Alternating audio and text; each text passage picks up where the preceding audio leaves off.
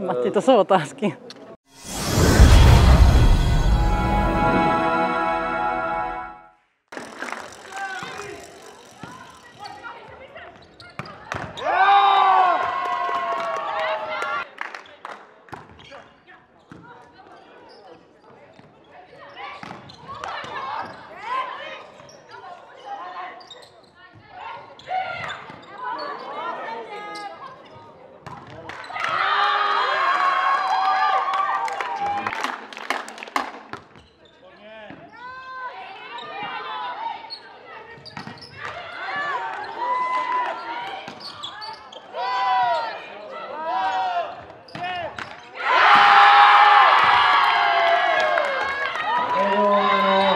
Tak dramatickou pětisetovou bitvu jsme zvládli, vyhráli jsme 3-2 na sety eh, na půdě vedoucího týmu tabulky.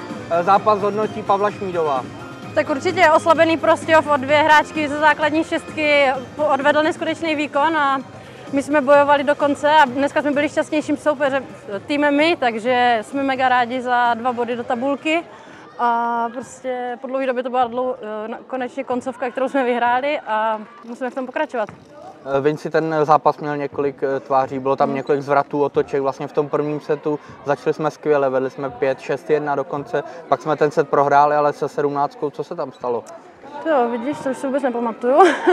ale ne, myslím si, že prostě Uh, prostě byl na nás připravený takticky v obraně, co oni čapali, to byly neskutečné balony a nám super jakože se podařilo nad tou obranou vyhrát, takže Eh, výsledek 16-14 breaku odpovídá tomu, že to byla bitva se vším všudy.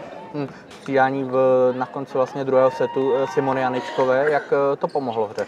Uh, určitě nám Simča pomohla, tam složila pár těžkých balónů, vyhrála nám jednu koncovku a od toho jsme tým a je to týmový sport, že prostě když jedna nemůže, tak druhá pomůže. Takže za mě jedině super, že si takhle můžeme vypomoct těm hráčkama střídajícíma a uh, dneska paráda, že to vyšlo zrovna Simči.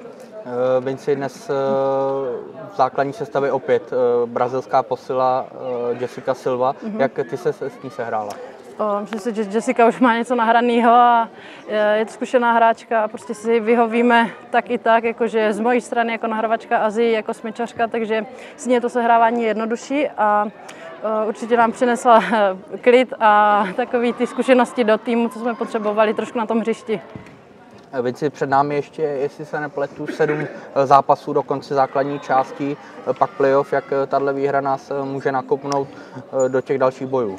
No, doufejme, že nás nakopne. Byla to prostě koncovka tiebreak s Prostějovem, s vedoucím týmem tabulky, takže doufejme, že nás to jedině nakopne k lepším výsledkům ještě. Díky za rozhovor, ať se daří. Taky díky.